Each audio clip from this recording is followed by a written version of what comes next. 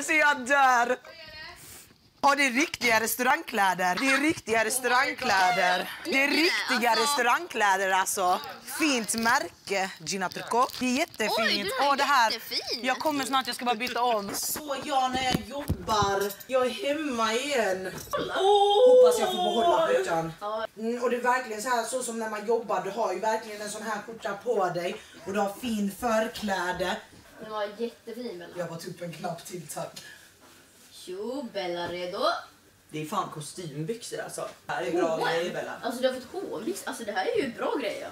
De där byxorna Fast har jag redan, de är jävligt stora. Va, alltså, vad tror de om mig? Att jag är jättefet? Men har du skrivit 30, 38? Så Jag vet inte vad jag har skrivit. Åh, det, är, alltså, det är exakt så här jag ser ut när jag jobbar alltså. Alltså du Nu känner du dig som hemma. Ja, alltså ni fattar att jag blir till och med glad. Det känns liksom att nu ska jag gå och jobba Så julbord. hade bara Fanny kan också butler.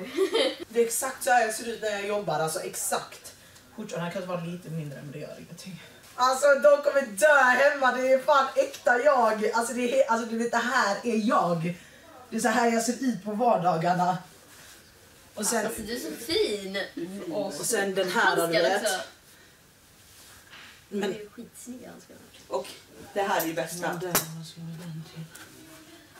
Det är ju riktiga arbetskläder. Alltså det här är ju alla som jobbar som servitris har för första de här byxorna från H&M. Det finns ingen som inte har dem. Alltså du vet. Och Vad snyggt! Eller hur? Ja.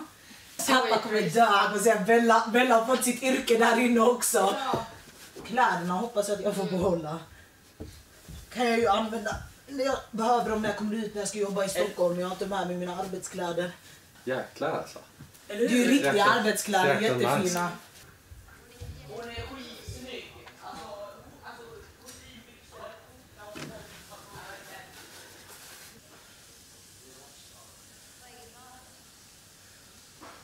Det är riktiga arbetskläder, alltså det som är så kul.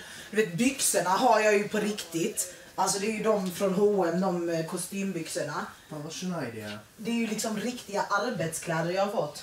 Och eh, hand, handskar Det här är ju så kul för jag börjar skratta för det gick, alltså den här out, jag har exakt samma förkläde, jag har samma byxor. Skjortan har jag och för sig inte men det är liksom, Du är hemma liksom. ja det är verkligen hemma så jag vet att pappa kommer dö av skratt alltså. De satt ju som en jävla smäck de Ja. brallorna för övrigt. Precis, jag hoppas, jag hoppas jag får behålla dem. De satt ju jävligt tight.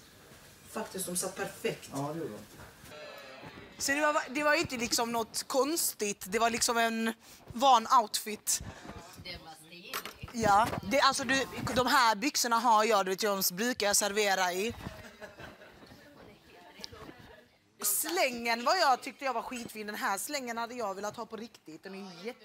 Bara att det. Jag jobbar ju med... Jag hade inte vetat vad jag skulle göra av.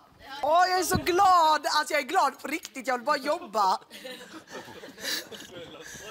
Byxorna, snälla brorsan, får, om jag får behålla byxorna blir jag jätteglad.